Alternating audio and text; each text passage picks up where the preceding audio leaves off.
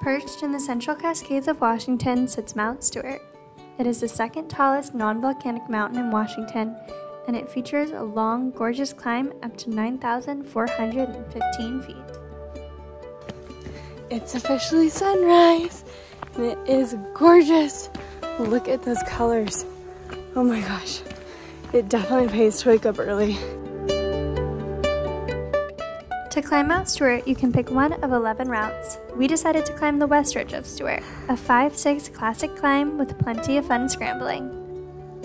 Our approach route had us starting out at the gorgeous Lake Ingalls. Sitting deep in the Alpine Lakes wilderness, our day was already off to a beautiful beginning. We decided to fill up our waters here, as this would be the last water source we would see all day.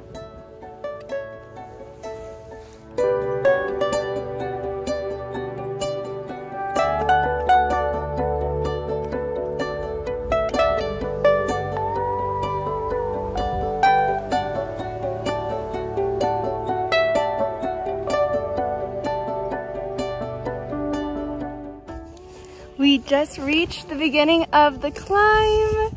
Yay! Are you excited? Oh yeah.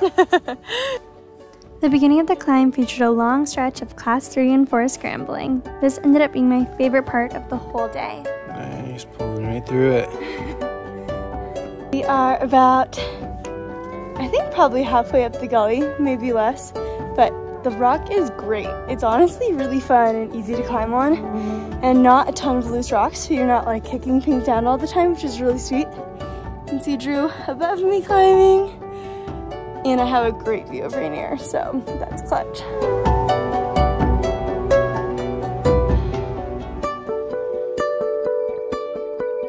So we made it to the notch and now we're just gonna take a little break and figure out where to go from here.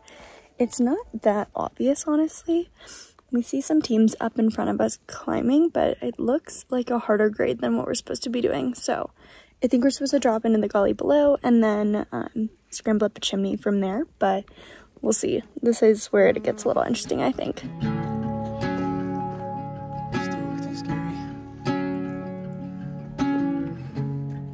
Okay, so we got to what we believe is the notch, and now we are going to be heading straight up that, and then traversing around the West Horn, which I'm you have to assume is that, right? We're hoping it's that. But this mountain is crazy rocky. Look at this place. Like, I feel like I'm in Lord of the Rings or Mordor. I don't know. Something crazy.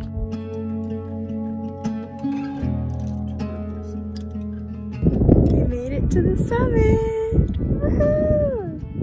Yeah. It took us a little bit longer than expected. It is 6 p.m., so a very long day and we still have to get down. But it is beautiful 360 crazy views of all the mountains around here. I would definitely recommend it. This was amazing. Okay, I'll show you the views now.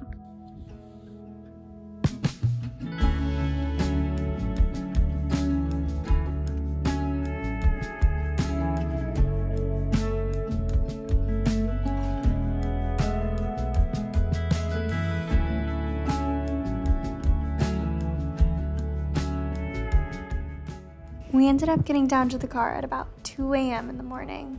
It was a long and dark hike down, but let me tell you, it was absolutely worth it. Thank you guys so much for watching, and hopefully, I'll see you in the next one.